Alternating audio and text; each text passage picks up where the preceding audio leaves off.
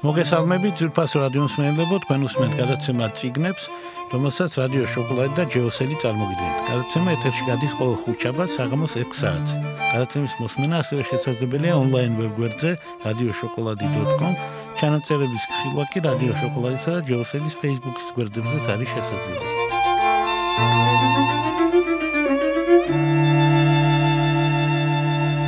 დღეს ჩვენ საუბრობთ სალმან რუშტიზე და მის შესანიშნავ რომანზე ფლორენციელ ჯადოქარზე. ეს არის ფანტასტიკურად საინტერესო მოზაიკური ტიპის რომანი, რომელიც ერთდროულად არის ორდით სამყაროზე, არის ინდოეთზე, ოღონდ დიდი მაგოლების, ანუ მონგოლების მეტაურობით იმ პერიოდის ეპოქაზე არის ესე იგი იმპერატორი აკბარი ამ э, შესანიშნავ წიგნში ხოლო ამავე დროს ეს არის э, ნიკოლო მაკიაველის მედიჩების э, ოჯახის დროინდელი დიდი მოგოლების თანამედროვე ამჟამად ევროპული მხარე.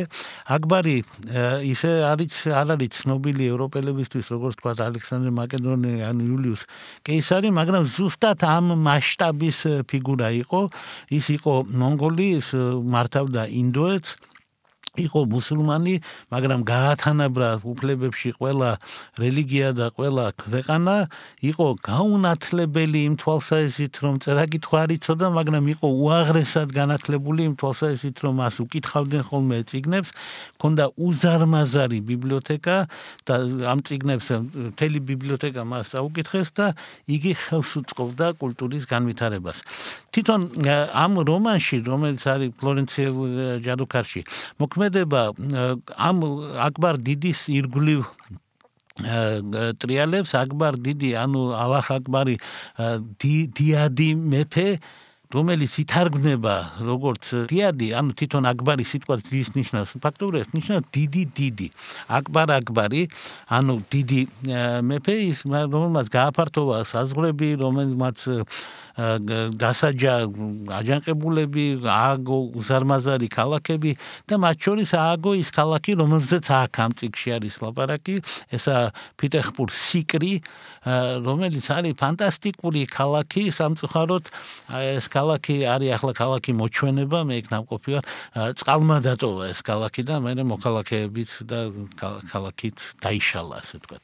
ამავე დროს ამ რომანს ყავს ფლორენციელი ჯადოქარი არის პერსონაჟი, რომელიც პირდაპირ და უშუალოდ არ ფიგურირებს, მაგრამ მუდმივად არის მასზე საუბარი, მისი გახსენება.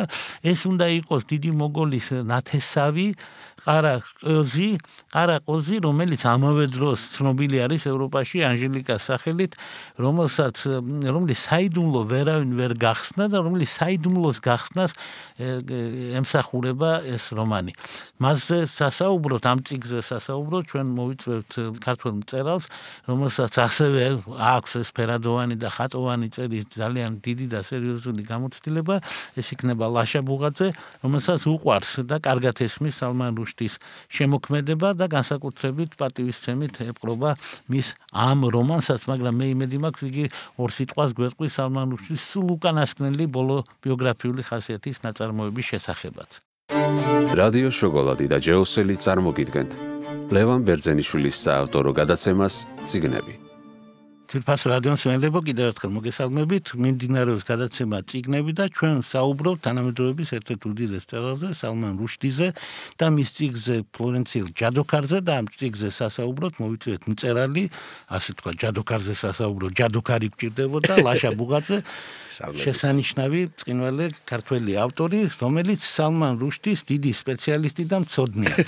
მინდა გკითხოთ ბატონ ლაშა, როგორ როლს ანიჭებთ ამ ნაწარმოებს სალმან რუშტის სხვა ნაწარმოებებს შორის. კი ბატონო, უპირველეს ყოვლისა დიდი მადლობა ბატონო ლევან, ძალიან მიყვარს თქვენი გადაცების მოსმენაცა და თქვენთან სტუმრობაც. სალმან რუშტი მართლაც უცხადია უნიკალური მწერალია. თვითონ ფლორენციელი ჯადოქარე, რომელიც ქართულად არის გამოცემული და ქართულ კითხვას აქვს შესაძლებლობა რომ წაიკითხოს, არის მართლაც მისთვის, როგორც მისივე აღიარებით თუ შეიძლება ვთქვათ, რომ რაღაცნაირი ბუნებრივი და ძალიან მშვიდი დაბრუნება იმ სივრცეში, რომ რომელიც მას თითქოს და რომლიდანაც ის გამოსტყორცნეს, გამოიყვანეს აი ამ ცნობილი ამბის გამო, გულისხმობ ფეტვას, რომელიც აიათოლა ხომეინი მას გამოუცხადა და ის დაუბრუნდა ლიტერატურას, იმ სამყაროს, რომელიც ყველაზე მეტად უყვარდა სიამოვნებდა რა იგულისხმება ამ დაბრუნებაში. აი ეს აი ეს მრავალფეროვნება და თამაშის ეს საოცარი დიდი დიაპაზონი. აი ეს ზოგჯერ ადარებენ ხოლმე სანმან რუშტის ესეთი გასტრონომიული შედარება, მაგრამ სადღაც მესმის ინდურ სამზარეულოსაც, ხო, აი ამ სიჭრელით, ამ მრავალგვაროვნებით, ამ რაღაც ამ სინამდვილისა და ფანტასმაგორიული ლობის ამ შერწყმის თვალსაჩინო.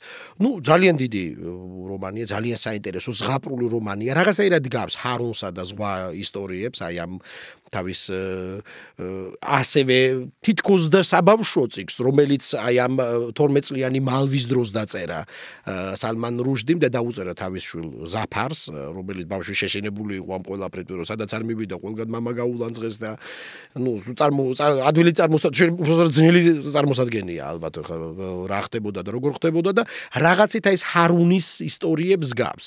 თუნდაც ის პასაჟი თქვა და ეს დიდი მოგოლთა ამ დიდი ხელმწიფის გამოგონილი ცოლის, იდეალური ცოლის აჩორდილი, რომელიც თან არსებობს და თან არ არსებობს, რაღაცნაირად პრინციპში სათავეს იღებს, ალბათ დამეთახმებით ჰარუნი და ზღვა ისტორიებიდან და ნუ ცხადია, თავი და თავი ეს არის 1001 ღამე. 1001 ღამის აი ამ ციკლის გარეშე ალბათ სალმან რუშდი არ იქნებოდა. სალმან რუშდი როგორც თვითონ ამბობს, თუმცა ის ემადლიერება ბუნებრივია ჯოის, ბუნებრივია ჯოზეფ კონდრატს, ბუნებრივია მარკეს და სხვა და სხვა. ძალიან მარკესი ვახსენეთ პირდაპირ დავსვამ ლიცოდნეობით კითხვას, იმიტომ ლიცოდნეებს გონიათ, რომ ციგნის თავარი ღირსება არის, რომ მას მიენიჭოს, ასე ვთქვათ, სტატუსი. ჩვენ ბიბლიოთეკარებმა კარგად ვიცით, რომ ციგს უნდა მიენიჭოს ჯუის რაღაცა מחასიათებელი ან ბებეკასი მაინც ახლა ახლა ჩვენ ბებეკაზე არ გადავედით, ქართველებმა ძალიან ვიომეთ საბჭო კავშირში მაგის გამო, მაგრამ ჯუი და ნუ მისგან გაუნდინარე აწილადი კლასიფიკაცია დარჩა და ჩვენ ვიცით რომ ძალიან ნიშნავანი მიანიჭო რაღაცა. ეხლა ამასაც ლიცოდნებმა მიანიჭეს რომ ეს არის მაგიური რეალიზმი. ნუ გასაგებია რომ ახლა ამ სიტყვების garaშე როგორ იქნება, მაგრამ მე ვფიქრობ რომ ცოტა მეტია ვიდრე მაგიური რეალიზმი, იმ უბრალოდ მიზეზით რომ აშკარად ასე ვთქვათ კოსმიურად მაგიური არის. გაცილებით დიდი სამყაროა აღებული ვიდრე ეს ჩვეულებრივ ხდება ხოლმე მაგიურ რეალისტურ ციგნებში და უფრო მეტი მაგია ვიდრე რეალიზმი. ყველაზე უფრო მაგარი ჩემი აზრით არის ის რომ კითხოს თავიდან ბოლომდე გამოგონილი გონია ის პრეტენზია რომელიც თავარ გმირს აქვს რომელიც ნამდვილი აღმოჩნდება. მე მგონი ეს არის დიდი წერლული ეშმაკობა გაგვეთამაშა ისე როგორც აკბარი დიდი მოგოლი იმ გამოგონილ ცოლს ჭადრაკს ეთამაშება ხოლმე. ახლა მე შემიძლია წარმოვიდგინო ეს როგორ ხდება, ალბათ ორივე სლას თვითონ აკეთებს ახლა მაგიურ არა და ჩვეულებრივ რეალებში, მაგრამ სხვა ცოლებმა იციან რომ ის ქალი არსებობს და ის სერიოზული ქალია თან მარტო იმასთან არის სექსი საინტერესო აკბარისთვის ჩვენ არ ვიცით რა იგულისხმება მე ვერ ხვდები მართალი გითხრათ რაღაცა ძალიან მაგარი უნდა იგულისხმებოდეს როგორც ჩან მე ფიქრობ ამ უცნაურად აღმოსავლურ რომანში ეს ჭეშმარიტად ევროპული სახელი ანჟელიკა რომ ჩნდება და ეს ორი ქალაქი სიკრი და ფლორენცია როგორ უერთდება ერთმანეთს და როგორ პოულობს იგი საერთო ინდო-ევროპულ საფუძველს. ეს მართლა მაგია. დღეს წერლები ასე იშვიათად წერენ ხოლმე, იმიტომ რომ სალმან რუშდი არის თავის და საუბედუროდ და მკითხველის და საბედნო განათლებული მწერალი. რაც ხანდახან წერლობაში ძალიან საეჭვო რამე თითქლება, იმიტომ რომ მე ვიცი რომ წერლების ნაწილი უბრალოდ არ კითხულობს სხვა ციგნებს, რომ ეშინიათ რა გრიპივით ეშინიათ ერთმანეთისა, რომ არ გადაედოს რამე და სხვა არ ვიცი ახლა პროფესიულად თქვენ უკეთ იცით. მაგრამ თქვენ მე მგონი უში შართარიგიდან ხართ სალმარუშტი. როგორ ფიქრობთ ეს მისი ესეთი უკიდეგანო და გაუთავებელი განათლება, რომელმაც ბოლოს და ბოლოს ამ წიგს დაურთო გამოყენებული ლიტერატურის სია, როგორც ხდება ხოლმე წესიერ გამოცემებში.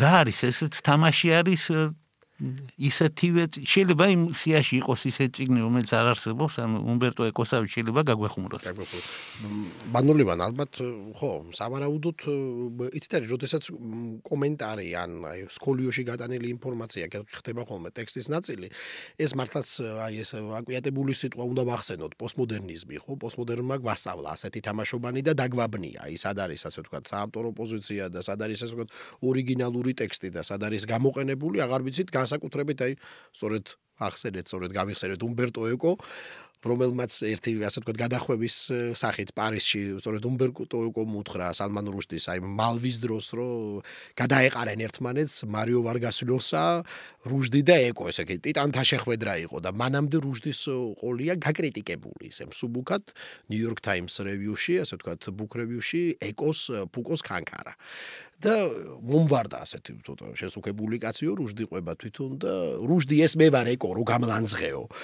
ხო და ეს ის კაცი ვარ მეო მაგრამ ამის გამო არ გემდურებიო და შენ გვერდზე ვიდგებიო და ასეთი ასე ასეთი რაღაც გვითხრაო ლოსასთან ერთად რომ მოდი ახლა ჩვენო ჩვენ ქვია სამი მუშკეტერი ახლა სამი მუშკეტერი ვართო და ესე ერთი ყველასი და აღვდეგ და აი ამ კონცეფციით ასე თქვა ჩემი კარით რატო ვახსენე ეკო? ეკოს ბუნებრივია გუშინდელი დღის კუნძული როგორ შეგვიძლია თარგმნოთ არ ვიცი ეს რომ რომანი, სადაც აი ეს 500 გვერდიანი რომანი თვითონ ეკუ ასე გვეუბნება, რომ არც ერთი აბზაცი ამ ტექსში არ არის შემს მიერ მოგონილი.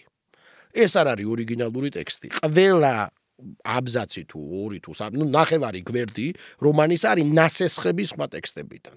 ანუ ეს არის კომპილაცია, კომბინირებულია ეს ციგნი სხვა ციგნებიდან. ანუ მე აქ არა ვარ. ანუ ყველგან ვარ და არსად ვარ, რაღაცა ესეთი ღმერთის მეტაფორაა, ხო? სად სად სად სადაც შეიძლება ყველგან ამოვიკითხოთ, ყველგან ამოვიცნოთ ეკო, მაგრამ ვერსად ვერ ვიცოთ, რის გვეუბნება. დასაწყისში არის შეიძლება ჰომეროსი, სადღაც გაკრთეს თომა აქვინელი, უცბად შეიძლება იყოს არ ვიცი ბორხესი, შეიძლება გაგაჩდეს რაბლე, არა ვარ მე, გვეუბნება. ხო? სადღაც რუშტით შესაძლოა ამ უინს გთავაზობდეს, მაგრამ რუშტი მე მგონი, მთელი თავისი არსებით ეწინააღმდეგება მაინც ამ პოსტმოდერნისტულ ოინებს. ის თლიანად თავის აი ამ მრავალფეროვან ამ ქაშმირ, უნდა რომ ქაშმირიდან არის, ხო? აი ამ ძალიან მძიმე და ულამაზესი მხარი და რომელიც აი საჯილდო ოქვათ იქცა პაკისტანსა და ინდოეთს შორის, ხო? აი ამ ქაშმირის მრავალფეროვნების კულტურის შვილია, სრულიად. თუმცა, თუმცა და ამ ხრივ შეიძლება გარკვეული პარალელი გავაგბლოთ. ბამუქთან ოღონდ სხვა კუთხით ის ყოველთვის არის ასე ვთქვათ ორ კულტურაშია მოქცეული რუშტი. ხომ დაწყებული მისი ყველაზე ალბათ თავარი და მნიშვნელოვანი ციგნი არის ყველაზე ცნობილი კი არის სატანური სურები მაგრამ ყველაზე მნიშვნელოვანი მაინც შუაღამის შვილებია ხომ? ნამდვილად ორი სამყაროს ჭიდილი ბრიტანეთში მცხოვრები პაკისტანელისა, ინდოელისა, სუამ თემებს უტრიალებს. სად იწება, ასე ვთქვათ, სად თავდება ეს აღმოსავლეთი, სად იწება დასავლეთი, რა არის დასავლეთი ბრიტანეთის კონტექსტში. თვითონ ბრიტანეთი რამდენად არის, ასე ვთქვათ, ევროპის ნაწილი, რაღაცა ევრო და ასე შემდეგ და ასე შემდეგ. თუნდაც სატანურ სურებში, ხო? შაითანურ სურებში, როგორც თვითონ ასე ვთქვათ, ნუ ამბობს ხომ? ამ შაითანურ სურებშიც აი ეს ინდოეთიდან წასული ადამიანები, რომლებიც ცდილობენ რომ ასე რა ტრანსცენდენტალურად გადავიდნენ, ასე ვთქვათ, უკიდურესად კლერიკალური სამყაროდან უკიდურესად სეკულარულ სამყაროში, ხო? იმიტომაც არის ეს გამოცხადებები მუჰამედისა და სხვა და სხვა და სხვა. მუდმივად აი ამ დუალიზმის ანთროპოლოგიის ასე ვთქვათ კვლევით არის, ხო? სალმან რუშტი დაკავშირებული. საინტერესოა სხვათა შორის აი მისი თლად ბოლო ციგნიც, რომელიც თლად მისი ციგნიც არ არის. გულისხმობ ფლორენცელი ჯადოქრის შემდეგ გამოქვეყნებულ ციგს, ჯოზეფ ანტონის მიერ დაწერილ ციგს, სალმან რუშტი.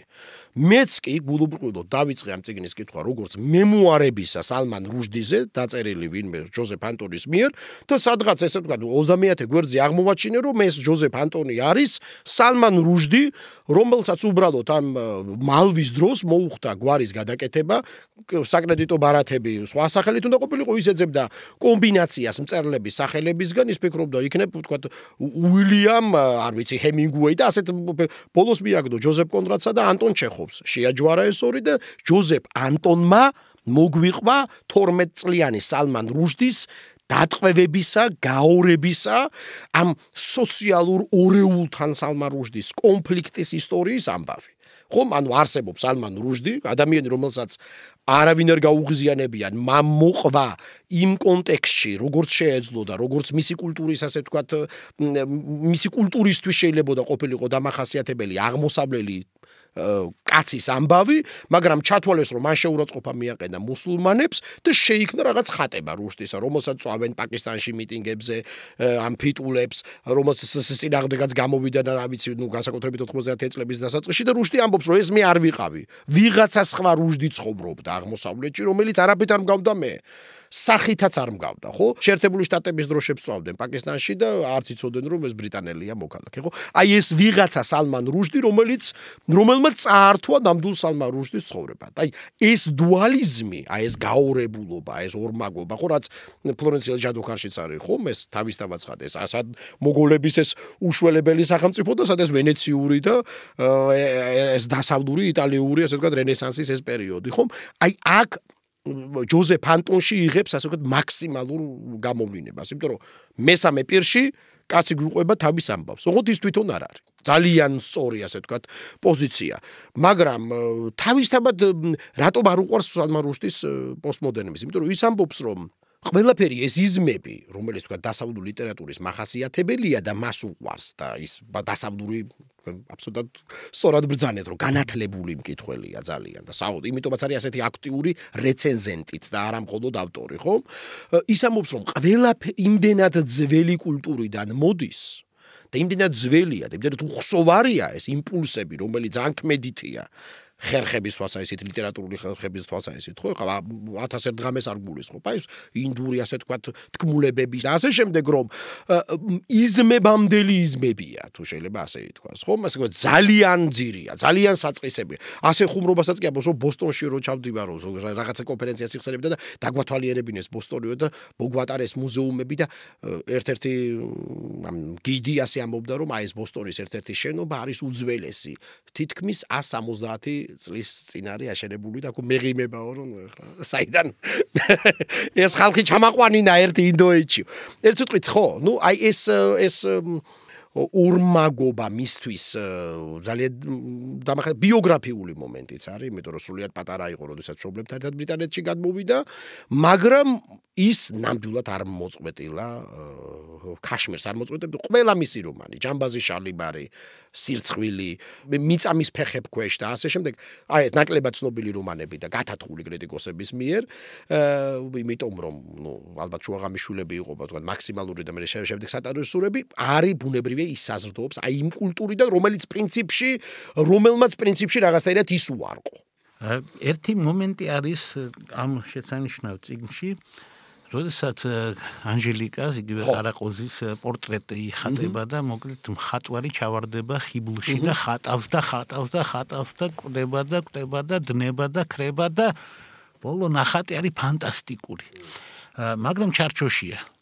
და ვიღაცას მოუა ძნული აზრი რომ მოდი აბა ერთი ჩარჩო მოაჩვენოთ აბა ნახოთ იქ რამე არ იყოს და აი იქ სადაც ჩარჩო ფარავდა იქ იყო მიხატული ხატვარი რომელიც დამალულია მაგრამ არის.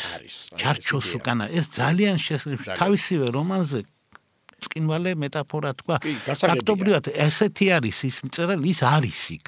ანუ ეს არ არის უმწერლობო უავტორო ნაწარმოები ავტორი არ მოკვდა. ავტორი არის მაგრამ ავტორი დამალულია. რა ძალიან საინტერესო არის და მე რას ფიქრობ იცით? ერთხელ ერთ შესანიშნავ ევროპულ ფილმში იყო ასეთი რამ რომ კაცი არის შეყვარებული და არის ანტონიონის ბოლო ფილმია. შეყვარებულია კაცი გადასარევი ბიჭი თამაშობს ძალიან ლამაზია ვინსენტ პერესი თამაშობს და კალი არის ისე რა არაუშავს რა ქერა მაგრამ არაუშავს და ის არის მორწმუნე ქალი და ეს კაცი ეუბნება რომ მიყვარხარ და რაღაცა და ვერაფრით ვერა. ვერა სიყვარულზე ვერ წამოიყოლია პარიზია წვიმს და ის ქალი ეუბნება სიტყვას რომელიც ინდოეთიდან ანას ეს შენ გინდა სანთელი დაანთო ეკლესიაში სადაც 1000 კელაპტარი ანთია. ან შენ შენი პატარა სიყვარულით ქრისტეს სიყვარულს და რაღაცას ეჯიბრე ეს სიტყვები დაახლოებით ასეთი უწყეს მისიონერებს ინდოეთში. თქვენ გინდათ რელიგიაში მოიტანოთ ქვეყანასაც, რელიგია გამოიგონეს ყველა ერთად და გაჩუქეთ და მოგეცით და მე ვფიქრობ, რომ სალმან რუშდის სწორედ ეს შეგრძნება აქვს. მას აქვს მემკვიდრეობა ზუსტად იმ კულტურისა, რომელიც ყველა კულტურის დედამამა და და აი ეს მრავალფეროვნება მე არ მიკვირს ორჯერ ინდოეთში ნამყოფი კაცი ვარ 400 სპეცი არსებობს მარტო ესე იგი ჩვენ ხო იცით ახლა სერიოზული ხალხი ვართ კულინარიაში არ ვართ ხელწამოსაკლები და ნუ ახლა სერიოზული არის კიბილებიც არის ყველაფერია მაგრამ მაგრამ ჩვენ რო ის რაოდენობა გქონდეს ასე თქვა საკმაზის მე წარმომიდგენია რას ვიზამდით? ჯერ ცოტათი რა შვებით და იმით რაზე? ინდოეთმა მე გამაოგნა ამ თვალსაჩინო ეს სიგნით სხვათა შორის აი ფერების რაოდენობით რაღაცნაირი ესე იგი უცნაური მოზაიკით და რაც თავარია ყველაზე ღრმა აზრით, იმიტომ რომ ინდოეთია, მაგრამ მოგოლების ინდოეთია. ანუ სადაც სიტყვასაც კი როცა ამობ ალლაჰ აკბარ შეიძლება გულისხმობდე მართლა იმას ასაც ეს გულისხმობდა ყველამ ვიცით ახლა ამ ტერორისტების გამონტენმას უფრო გაიგო კიდე ეს რას ნიშნავს მაგრამ სინამდვილეში ეს ამავე დროს შეიძლება ნიშნავს რომ აი ეს აკბარი ღმერთია და ის არის კიდევაც ღმერთი, იმიტომ რომ ასე ლამაზად იმპერატორებს არ ხატავენ ხოლმე იმპერატორები ხო ვიცით რა ხალხიცა იმპერატორები კი პრემიერ-მინისტრები ვიცით და პრეზიდენტები და იმპერატორები ასეთები არ არიან. აკბარი ევროპელი იმპერატორი შეპარული აზიაში აშკარად ავტორი ჩვენი თვითონ წკინვალე ჩანს რომელიც არის თბილი, კეთილი კაცი, ა მას შეუძლია. როგორ დასაწყისში ძვინვარეა, ხო? სპილოს. კი. და აგლეჯინოს ვიღაცა, რომელიც დაბრმავებულია სპილო და გაგიჟებული არის და წარმოგიდგენიათ ის წყვეტს ადამიანების დანაშაულ დანაშაულობის ამბავს, მაგრამ ფლორენციელი ჯადოქარი იოლად, იოლად, იმიტომ აკბარის სუნსი შოვის და იმით შეაცდენს ამ საცოდავ სპილოს რომელიც მოჭკვიანდება იმ წუთას როგორც კი პატრონის სუნსი გზა. მე მინდა მიულოცო ქართულ მკითხველს რომ არსებობს ასეთი კარგი თარგმანი. და ახლა ორი სიტყვა თქვა ჩვენ ტრადიციულად გვიყვარს ხოლმე. ვინაიდან აწყენები ვარ თვითონაც ნაციონალურად ჯერჯერობით ყოველ შემთხვევაში ნობელის კომიტეტზე. ეს კითხვა მინდა დაგისვათ. როგორ ახერხებს ნობელის კომიტეტი როგორ იძინებენ? როგორ იღვიძებენ სალმან რუშტის ნობელის პრემია რო არ აქვს. რას ფიქრობენ საერთოდ თქვენ როგორ როგორ იცით? ძალიან სწორი წუხილია, აბსოლუტურად მეც ვიზიარე. ყოველთვის ჩდება სალმან რუშდი არის აი ამ ეგრეთ წოდებულ შორტლისტებში და ყოველთვის არის საუბარი რომ სალმან რუშდი წელს მაინც აიღებს, თუმცა ბევრიც ამბობს როგორ სალმან რუშდისთვის დააგვიანა ნობელის პრემია. კარგ ახლის წინ უნდა გაეცათ, როგორც ეს მოხდა მარიო ვარგასლიოსას შემთხვევაში, შეიძლება გრასის შემთხვევაში ხო დიდი წელების თვითონ რუშდი არის ეხლა ნუ ბუკერის პრემია, აი თქვა შუაღამიშულებში აქვს აღებული და 25 წლის შემდეგ სწორედ ამ წიგს მიანიჭეს შუაღამიშულებს სუპერ ბუკერი. ესე იგი ბუკერთა შორის საუკეთესო ბუკერი. აი ასეთი რამ დაიმსახურა არა ლესინგს, არა თქვა კუძეს, არა სხვებს, ახლა რამდენ ავტორს ხომ ინგლისურ ენობას, არამედ სწორედ რუშტის. თავის დროზე მოგეხსენებათ გარკვეული კომპლექსი ქონდა ნობელის კომიტეტს რომ არ ჩაეთვალათ რომ მაიდამაიც ეს არის იმის გამო რომ აი პრინციპში გალაშქრება არის თქვა ირანის მხრიდან ასე თქვა დასავლურ ღირებულებებზე და არ ყოფილიყო არ დაებრალებინათ ნობელის კომიტეტისათვის ის რასაც ისედაც სულ აბრალებენ და სულ დააბრალებენ რომ რაღაც ახვა სოციალურ თუ პოლიტიკურ კონიუნქტურას და ამიტომ მისცა ვიღაცას პრემია და არა ლიტერატურის გამო და წელს მე მგონი აი ამ კომპლექსის გამო ისეთ წელს მისცეს პრემია რომ იმ წელს რომელსაც არ აქვს გორი თავის ციგნები წაკითხული. მეზარება კიდე იმ გვარის გამეორება ფრანგი მწერლის. ხო და ერთი სიტყვით, აი რუშდის შემთხვევაში ეს კომპლექსები იყო. თვითონ აი ამ ციგნშიც, აი ამ ავტობიოგრაფიულ თუ ბიოგრაფიულ ამ უცნაურ ციგში ჯოზეფ ანტონში რუშდი გვიყვება არამხოლოდ აი ამ გარკვეულ კომპლექსებს ლიტერატურულ წრეებში და სამწუხაროდ ხშირად ხდება ხოლმე რომ თვითონ თვითონ აი ესე ვთქვათ შენი კოლეგებიც კი ვერ ხვდებიან, ვერ იაზრებენ რამდენად მნიშვნელოვანია ჩაგრული შენი კოლეგის წერლის დაცვა. და იქ არის ამბები ამ წიგში კარგი ჭორებია, ასე ვთქვათ ლიტერატურის მოყვარულებს ზააგვასია მოვლის ეს ამბები როგორ გაიყო ბანაკი. როგორ იცავდნენ რუშდის დორ, იახ მას რაც რაც უნდა და ის უნდა დაეწერა და ვიღაც ვიღაც წერლები დიდი მწერ მწერლები, ისეთი მწერლები, რომლებიც ჩვენ ძალიან გვიყვარს, უცბაოდ ძალიან უცნაურ ტექსტებს ამბობდნენ თურმე, რომ არ უნდა დაეწერა, არ უნდა გაეღიზიანებინა, ძალიან გასაკვირი. მოდით ერთს ერთ ერთს გვახსენებ, იოსებ ბროცკი, გამიკვირდა. ბროცკი ამბობს რომ არ იყო საჭირო და დაცვა არ უნდა დაეკირავებინა რა საჭირო იყო ამდენი ხანი დამალვა რატომ ალავდა ამდენი ხანი სკოტლანდიაში მე რო ასეთი რაღაც შემთხვეოდა მე გავაგზელებდი ისევე ცხოვრებას როგორც ცხოვრობდი. ну იქ ცალკე თავისი ამბებია, თავისი ნარატივია ალბათ, ხო? თავისი გადასახლებების და საბჭოური царსულის ამბებია. ბროცკი ყოველთვის გაუბრბოდა ამ თავისი ბიოგრაფიის ამ ეპიზოდის წინ წამოწევას, როდესაც მის ლიტერატურაზე იყო ლაპარაკი. ეს კიდე ცალკე თემა არის და ცალკე საინტერესო ამბებია და ამ ამ და არა მხოლოდ ამ რაღაცებზე. პასუხ ჩვენ ბატონი ლევანის ციგში წამოვიკითხავთ წმინდა წვდიაჩი შესაიშე შებს უსაყვარელ ციგში და ასე შემდეგ. ხო ანუ რას ვამბობ? ამ შემთხვევაშიც ბრიტანეთის მთავრობას არა მხოლოდ ლიტერატურული წრეები არა მხოლოდ თქვა ლიტერატურის კომიტეტი ნობელის ბრიტანეთის მთავრობასაც კარგი ხნის განმავლობაში ჰქონდა ვერ ვიტყვი კომპლექსი არამედ შიში იმისა, რომ რუჟდის არ გაეფუჭებინა ბრიტანეთის მთავრობისათვის ურთიერთობა ირანის მთავრობასთან ეკონომიკური თვალსაჩინით. და ყველაზე დიდი სტრესი როგორც მე მივხვდი და ნუ ეს ესეთად თავისთავად ცნობილი ერთ-ერთი დიდი სტრესი ახლა თავისთავად. იყო ის რომ შენი მთავრობა კი მართალია გიცავს მაგრამ მუდიოდ ბოდისიხდის ამის გამო რომ აი რა ვქნა მიხდება ამ კაცის დაცვა. სულ არ მინდა მაგრამ ჩვენი მოქალაქეა და ნუ რას ვიზავთ ახლა ხო არ ხო არ დაგითმობთ აი ასე. მაგრამ მუდი ტეჩერის მთავრობა. ეს უმეტესად იყო. ტეჩერის მთავრობის პერიოდში ეს რაც ხდებოდა და ნუ რუჟდი ძალიან ბრასობს ამაზე იმიტომ რომ ფაქტობრივად შეეძლო ბევრი რესურსი ქონდა ტეჩერის თავრობას რო გამოიყენებინა რომ შეწყვეტილიყო მაზედევნა ანუ დიპლომატიური გზებით და ასე შემდეგ და ასე შემდეგ და ისინი არ არ აქტიურობდნენ. ამის გამოც იყო რომ მე რუსდი ნიუ-იორკში გადასახლდა და ბოლოა ეს 3 წელიწადი როდესაც თუ არ ვთები რაფსანჯანი ან უკვე ჰათამის დროს მოუხსდეს მე მგონი ეს პეტო აი აღარ მახსოვს ზუსტად სწორად. აა მაგალითად როდესაც ბრიტანეთში ბრუნდებოდა იქ უშველებელ დაცვას ახვედრებდნენ ხოლმე და მალავდნენ და ისე უხაზავდნენ სად რა უნდა ეარა და როგორი არა და მაშინ როდესაც ნიუ-იორკში რო ჩადიოდა ტაქსის აჩერებდა შეულებრივად არც დაცვა იყო რა მინდა ანუ პრინციპში პირობითი იყო ეს ყველაფერი. ნუ პირობითი უკვე ბოლოს 2000-იან წლებში თორე 90-იანებში იაპონელი თარჯიმანი მოუკლეს ტოკიოში სატანური სურებისა და იტალიელ თარჯიმას სახლში შეუვარდა ტერორისტი და გადარჩა მართალია, მაგრამ უამრავი ასე თქვა დანით ჭრილობა მიაყენა და რაც თავარია დანიელ მის გამომცემელს აუფეთქეს ბანკანა. ისიც გადარჩა ტალღამ გადაიტყუთ გადატყორს და ეს გამომცემელი, მაგრამ ნუ სკანდინავი მაინც ის ერთი ვიკინგური ასე თქვა ჩემართებისა იყო და პირიქით საავადმყოფოდანვე მისცა. ინტერვიუ პრესკონფერენცია მოიწო რომ ეხლა თხელ ყდაშიც დავბეჭდავთ მარტო სქელყდიანები ქონდა. ახლა ჯინაზე დავბეჭდავთ სქელყდაში. არ ვიცი მოკლედ დიდი ამბავია ესა ცხადია მე მგონია რომ რუშდისნაირი დონის მწერალი დღეს ბევრი არ არის ალბათ და მე ვფიქრობ რომ ნობელის კომიტეტს მაინც მოუწევს ამის გაკეთება. მეც მგონია მეც მგონია. იმიტომ რომ ნუ ჯერ ჯამთელათაა როგორც ჩანს და ის იქარგელავენ იმიტომ რომ ამ ამას თავის თავსაც ვერ აპატიებენ მე ასევე მინდა მიულოცო ქართულ თარგმნელს ყველაფერთან ერთად ის ვაშკაციც ყოფილა იმიტომ რომ რუსის თარგმნა მოგეხსენებათ იული საქმე არა იმ წიგს არ თარგმნიან მაგრამ იმ წიგის თარგმნა არც საჭირო ჩემი აზრით.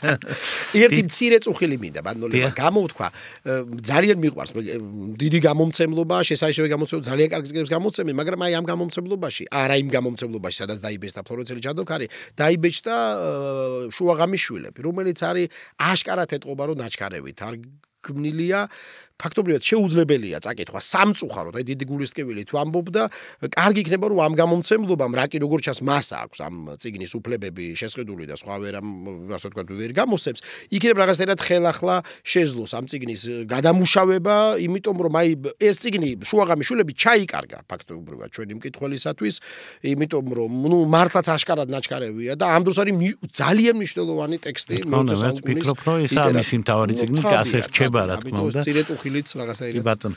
დიდი მადლობა, ყველა შევახსენებ, ლაპარაკობდა მწერალი ლაშა ბულღაძე. რადიო შოკოლადი და ჯეოსელი წარმოგიდგენთ. ლევან ბერძენიშვილის საავტორო გადაცემას ციგნები. დასკვნის სახით შემიძლია გითხრათ, რომ სალმან რუშტის ეს ციგნი შეუძლებელია კაცმა გაიაზროს აღმოსავლეთის იმ მარგალიტის გარეშე, რომელსაც ქვია 1001 ღამე. 1001 ღამე თავისი სტრუქტურით, თავისი აგებულებით, თავისი ფერადოვნებით, თავისი მოზაიკურობით, თავისი სიღრმით, რომ წარმოვიდგინოთ დაწერილად 21 საუკუნეში და რომ გავიყვანოთ ავტორი, ასე ვთქვათ, დავაპატაროთ და სადმე დავმალოთ, ოღონდ არ გავაქროთ.